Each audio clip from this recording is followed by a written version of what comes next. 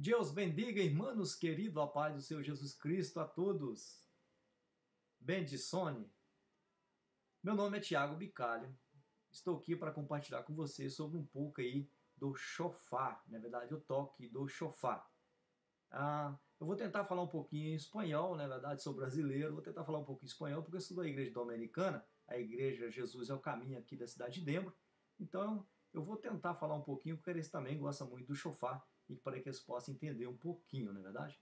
Lá a Bíblia nos ensina que o Senhor peleia a batalha do seu povo na forma que Deus utiliza para intervir de uma forma direta e indireta contra ativia, atimanhas, né, atividade contra o inimigo da igreja do Senhor Jesus Cristo. Isto quando nós outros nos damos a lambança e adoração, na verdade a lambança aí é o louvor, damos louvor e adoração um dos profetas escreveu que, e disse que cada golpe da vara da justiceira do Senhor assente sobre o inimigo, o inimigo do povo de Deus. Será com pandeiros e com harpas. E que é lindo, né? O pandeiro nos abre aí de música, de lambança, de louvor e de alguma maneira nos abra, nos fala, né? Nos abra, nos fala na, na imperversão musical do Senhor, a lambança e adoração. Se envolve numa forma ofensiva contra artinebras, né, artimanha do, do, com entendimento e fé por direção do Espírito Santo.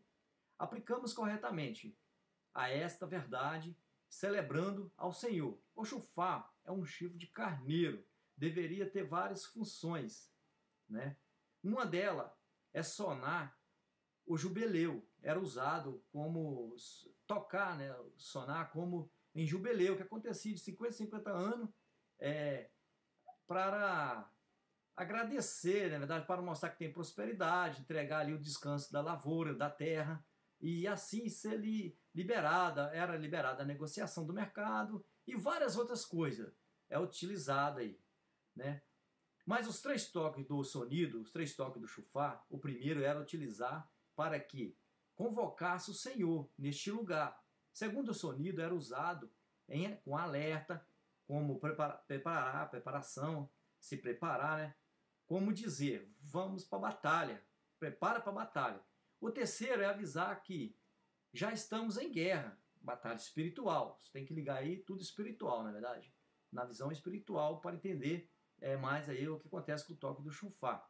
E o terceiro toque avisa que já estamos na guerra, já começou, já está na guerra e a batalha é a batalha espiritual, ou seja, lutando em conquista aí é, de Deus, na conquista que Deus é, nos colocou, que Deus nos prometeu. É, Deus é o mesmo que expulsar o inimigo. Né? Eu tenho a minha, a minha fé, eu tenho a minha forma de de usar aí o chufar, de usar aí a minha fé, na é verdade, é, não porque ele cura, ele liberta, ele salva, ele, é, né, o chufar é um instrumento, mas ele sai o som quando usamos por uma, quando é usado por uma pessoa, quando é usado por nós, o chufar quando ele está sendo tocado, ele é usado a sua fé. Você leva o som espiritual junto com você, não é verdade? Assim eu, eu uso o chofar com três toques, a minha fé, na é verdade, eu, eu, a minha intimidade com Deus, a minha fé, o meu entendimento, eu levo o chofar em três toques. É, o primeiro é convidar o Espírito Santo, né? Soprar ali, dizendo ali, não que vai ser um, um quando eu falo em um primeiro toque, não que é um toque só parado, é o toque, você tem que procurar, tem vários estilos de toque, né? São três aí, e esse primeiro, então, eu uso para convidar o Espírito Santo, na verdade, para dizer que ele é bem-vindo, que será entregue ali é, a ele a honra e a glória. Então eu convido o Espírito Santo, eu busco o Espírito Santo, não só naquele momento, mas é um ato, estou te falando aí por fé, na verdade. Então, nós estamos falando de fé, nós estamos falando de ligado espiritual, então tem que, temos que entender isso aí, na verdade. É, e o segundo toque, o segundo toque é agradecer o Senhor. Se agradece ao Senhor, não é verdade? A gente começar aí a batalha, agradecer o Senhor, obrigado aí. Não é, você vai estar tá falando isso, soprando o chufar, aquele som do chufar, você entende, eu entendo que está falando com Deus assim, na verdade. Você está tá guiando aquilo ali, agradecendo a Deus e, e, e dizendo, agradecendo que ele está aqui, obrigado, Senhor, não é verdade? Vamos dar aí a honra e a glória sim para o Senhor. É, obrigado por estar aqui comigo, aqui, coloca os teus anjos ao meu redor aí, é, nessa batalha. E o terceiro toque, o terceiro toque, é, é, seria expulsar o demônio, né? expulsar o inimigo, expulsar o diabo aí, né? Ou seja, é, toda enfermidade, vício, tudo que não pertence a Deus. É, talvez você me pergunte onde deve ser tocar o chufá. O chufá deve ser tocado em todo lugar, onde você tem liberdade, né? A certeza ali que é, o chufá ali é bem-vindo, né? É, tem tem como você estar tá ali com o chofá, tem como você tocar o chofá. Então, de um, é, ele pode ser tocado num culto, ele deve ser tocado no culto, sim. É, é você usando o chofá, você, é, entende como um instrumento musical, você é um levita, né? Também aí seria um levita aí.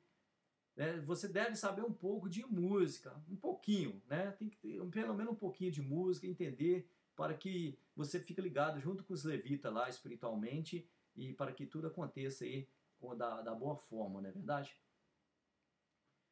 E, mas o melhor, o melhor, o que deve ser mais feito com isso é você seguir, é você obedecer ao Espírito Santo, na verdade. Você tem seu guia, o Espírito Santo. Então você sabe que o Espírito Santo ele é, ele, ele é educado, na verdade. Jesus é educado, na verdade. Ele bate na porta para que você deixe ele entrar, né? Então ele é educado. Então quando o chofar está é, sendo tocado ali no culto, a gente não fala com a outra pessoa falando, na verdade você escuta o falar e assim é, é ligado a isso.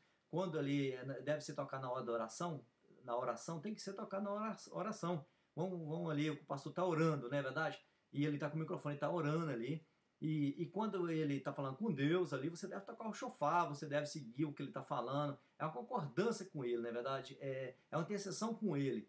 E quando ele está falando com, com o povo, Deus está usando ele para falar com o povo, você deve parar o chofar para que o povo entende é, o que está sendo falado, na é verdade. Lembramos aí que nós falamos, quando a pessoa se fala, o outro escuta.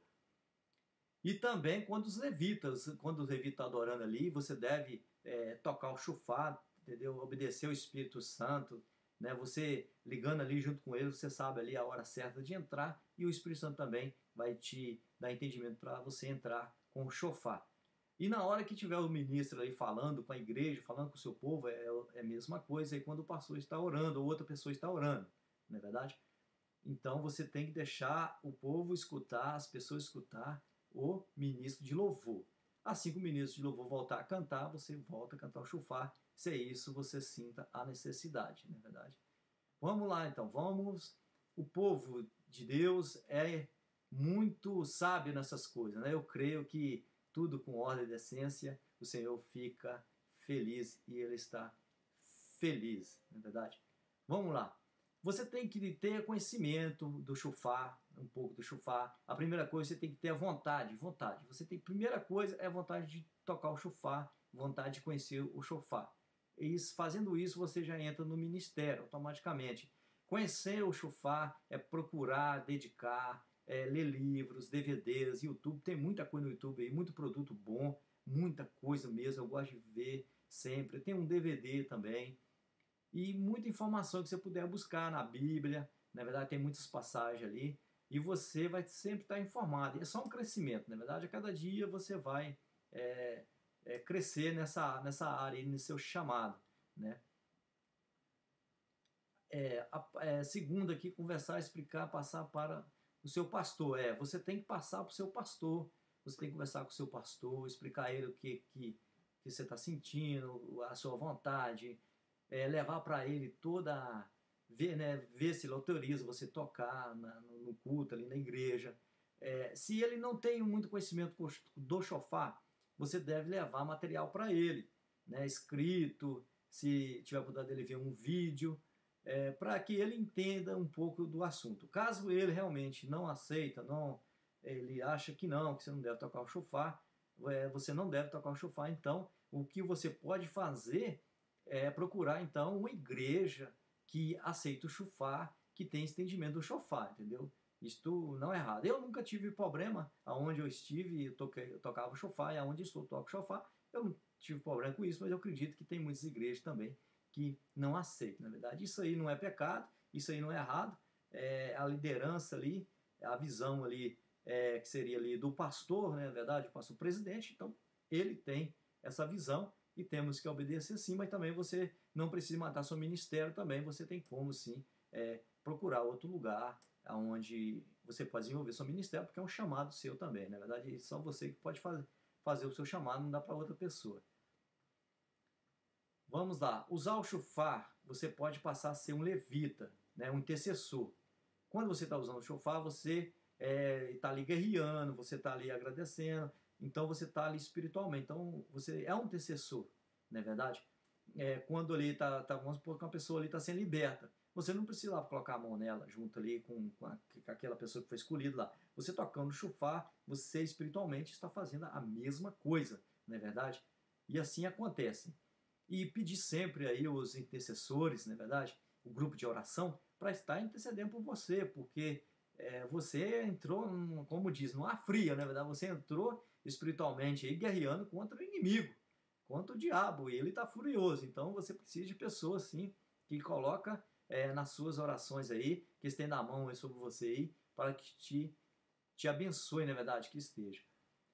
E eu deixo para você aí a paz do Senhor Jesus, que Deus abençoe. Que esse vídeo foi pequeno, na verdade, direto assim, mas é, não procurei falar muito, eu falei, você tem que ter estudo. Eu estou tentando passar aqui muitos aí para os meus irmãos também lá, hispanos, dos dominicanos, para que eles gostem, para que eles entendam também, mas para você também aí, é, que você tenha aí gostado do assunto aí. Mas você não pode deixar de procurar no YouTube, tem muitos vídeos, coloca lá chufar, como tocar chufar, toca chufar, tem muitos, tem muito, até espanhol, muito lindo, direto, fala direto, entendeu? E tem muitos ali, é assunto ali dos versículos da Bíblia para você procurar, na é verdade.